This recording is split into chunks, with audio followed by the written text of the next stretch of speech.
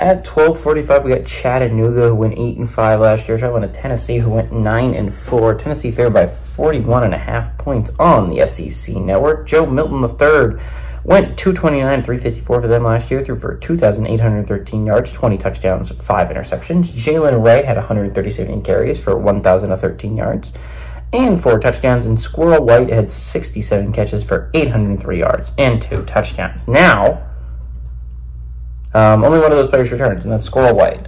Um, so I think what's going to be really interesting with Tennessee again, it's going to make or break their season. Is their it's their uh, redshirt freshman quarterback Nico. Um, it's going to make or break their season. Uh, they're playing in a tough SEC this year. He looked really good against Iowa. Iowa has a hell of a defense. That was his first game ever starting. Um, we'll see if he's able to continue that, right? Because it's, it's going to be a tough year in the SEC.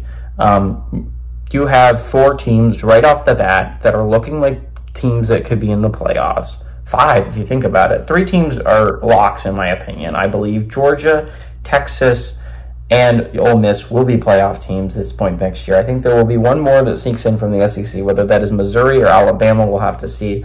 But you look at that, that's five playoff caliber football teams. You're not even talking about teams like Oklahoma Texas A&M's getting hyped up. They get hyped up every year, but maybe this is the year they actually somewhat live up to the hype. I don't think it is, but maybe.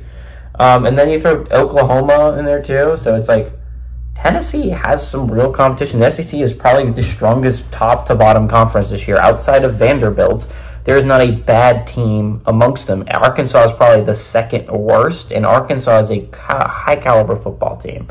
So I think if you're looking at it from a Tennessee perspective, is you're not going to have many easy games this year, especially drawing NC State at a conference. It's going to be hella tough.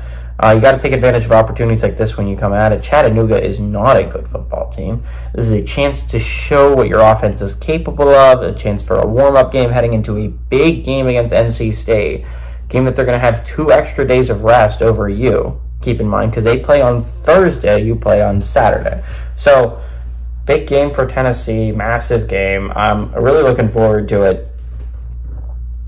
Um, I think Tennessee's going to win. They're going to win by a lot. This is a chance for Nico to show how good he is. I think he is pretty decent. So give me Tennessee to win and cover at home.